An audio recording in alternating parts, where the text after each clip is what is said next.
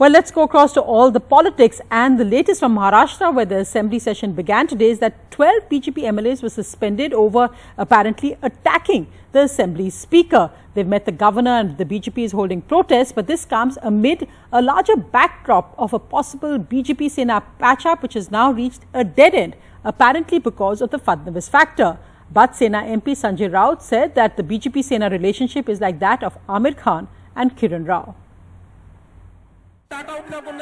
BJP MLAs targeting the speaker as the assembly reopened over not allowing them to speak over the OBC reservation issue.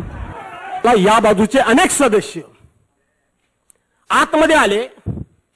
आणि माझ्या आई बहिणीवरून शिवाय देऊन आतमध्ये घुसले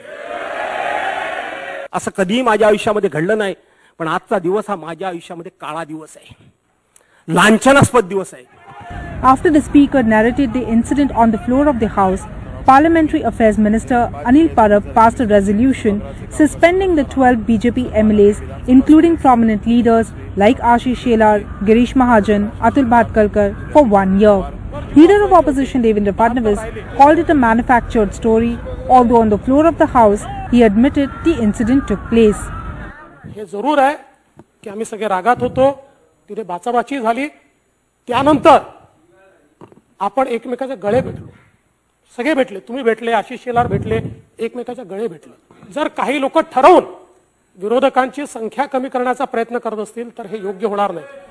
This clash came amidst reports that the Shiv Sena BJP talks for returning to an alliance and ditching the current alliance with the NCP and Congress had hit a dead end. BJP sources say no question of Fadnavis shifting to Delhi as union minister and if there was to be a patch-up with the Sena, there is no question of Uddhav Thackeray staying CM. Shiv Sena MP Sanjay Raut agreed with Devendra Fadnavis' statement that Shiv Sena and BJP are not enemies while ruling out the alliance. क्योंकि हम क्या भारत पाकिस्तान है हिंदुस्तान पाकिस्तान नहीं है ना ये मिलना जुलना होता है बातचीत होती है लेकिन अब हमारे रास्ते अलग हो गए हैं पॉलिटिकली और फडणवीस साहब का भी यही कहना है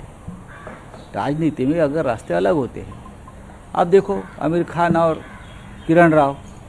रास्ते अलग हो गए लेकिन दोस्त हैं बोला ना वैसे है ये The speaker election has still not taken place and now with the weaker opposition, it needs to be seen whether the government will go for the speaker election in the next one day. Also, this rift has come in when there were speculations that Shiv Sena and BJP could be doing a backdoor discussion.